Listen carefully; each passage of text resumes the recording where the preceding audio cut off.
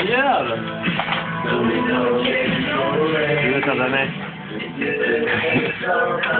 Den, den, Det, det här är med din drink. Din. Ja, jag har fått en grogg uppkallad efter mig idag.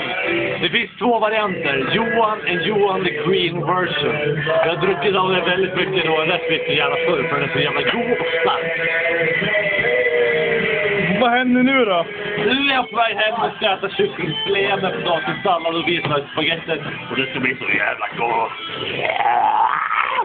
Ska du på skolan imorgon? Och det tror jag fan inte, men den som lever får se. Det är jävligt trånga skor jag har då. Boo. Tomorrow! Never dies! Yeah!